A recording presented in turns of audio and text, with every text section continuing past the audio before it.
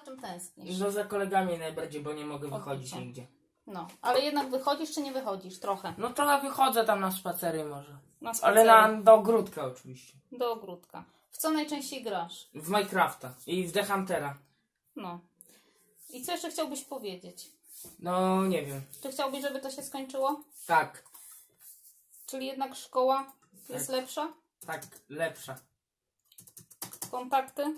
No bo można się, z- można się z kolegami spotykać.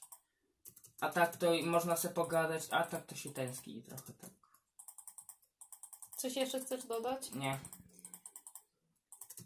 Chcesz, żeby się już skończyło to wszystko? mówiłem, że już chcę.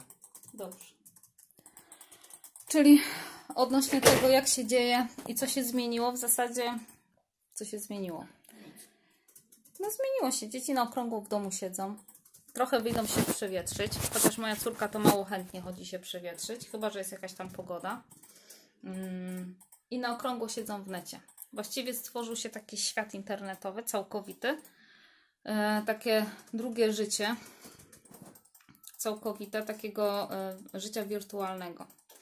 I co takim zaskoczeniem dla mnie jest, że generalnie tak jak akurat moja córka grała w necie, to poznała nawet osoby z drugiego końca Polski, bo z Częstochowy i łączą się w tym wirtualnym świecie i na okrągło grają. Także to jest jedyne, co mogę powiedzieć, że znacznie jakby pogłębiły się takie znajomości internetowe zewsząd.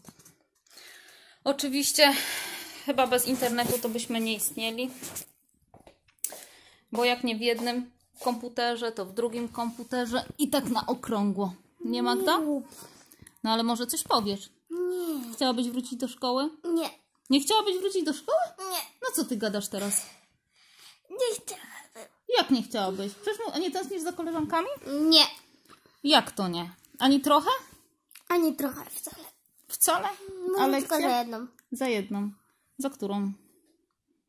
Ale